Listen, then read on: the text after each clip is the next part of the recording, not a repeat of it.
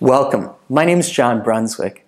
Over the holidays, I was thinking to myself, what am I going to do with all this free time?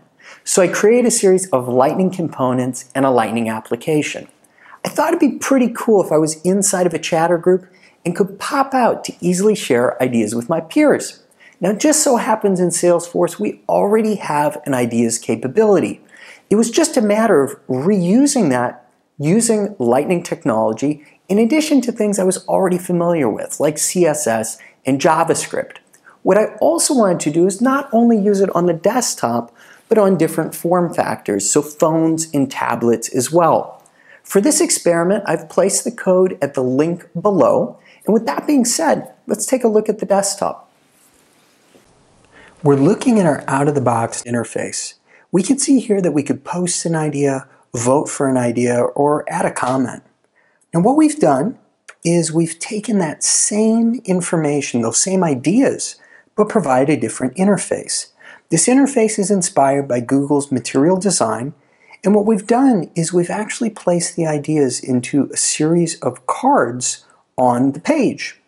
And for any one of the ideas, we've added a bit of a social flair. We can see here actually the person who created the idea, their picture is on the idea card, in addition to things like very user-friendly dates. And we can see here also how many comments there have been on a particular idea. Toward the top of the page, if we tap on any one of the sorting options, the cards are automatically sorted right in front of us. They include things, for instance, like how fresh ideas are, meaning how many people have voted or commented on the given idea, and how recently some of the ideas have been updated. So in our case, let's go ahead and create a new idea here together. And we can see that when we click into the field, there's a nice animation that happens. And again, that is inspired by some of Google's material design. I'm going to call this live test idea. This should be a great idea.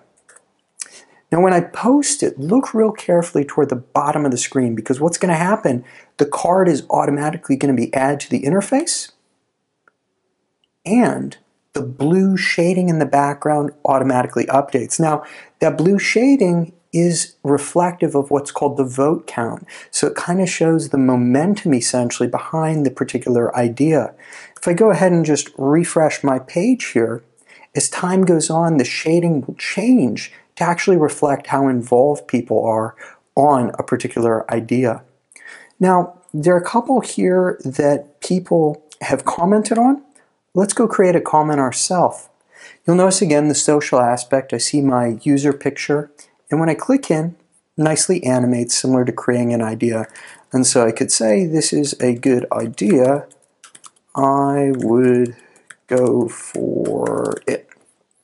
And when I post it, it updates immediately online, reflects the time in which it was posted, and if I want to go ahead and interact a bit more, I can actually vote for it. So you'll notice there's a 1 right now um, in the middle of the star. I'm going to tap on it and you'll notice it updates to a 2.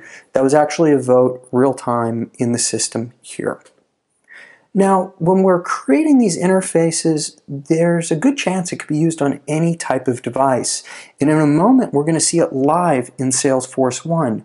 But what I want to show you is what's called the responsive design aspect of what we've done. You can see that as I've resized the browser, everything has changed accordingly to accommodate the new form factor. And if I squeeze things a little bit more, we'll notice that now the navigation collapses in the upper right and even the logo changes to reflect the new size that we're working with.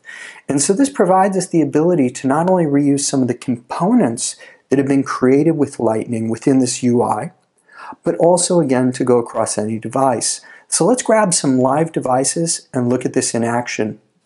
All right, so we're looking at the same application, only this time we're on our mobile devices and we're actually using Salesforce 1 because the nice thing is, with the way that Lightning is set up, it's very easy to automatically include it within your S1 experience.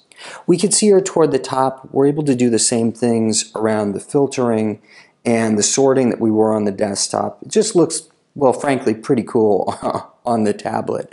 If we go ahead and tap into that monthly knowledge share, we can see here our vote, our comment, everything comes through, but it's just formatted for the mobile. And very similarly, if we wanted to go ahead and create something, it works the exact same way here on the mobile. Now, at the phone level, we've gone a step further because there's not as much real estate toward the top.